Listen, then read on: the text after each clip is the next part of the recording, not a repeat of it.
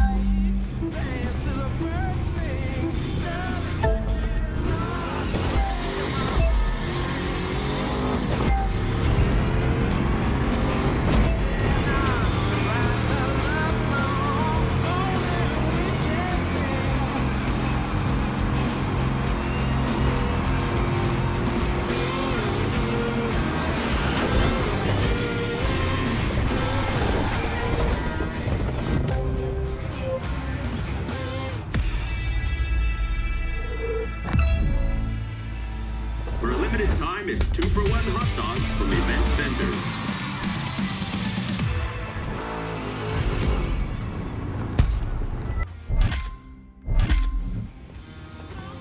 It means a hell of a lot to me that the champion street races helped me convince people that legit is the way to go. There's still a long road ahead to get everyone on our side. T.O. isn't the only one who likes to roll illegal, but we're a little closer than we were, and that's all thanks to you.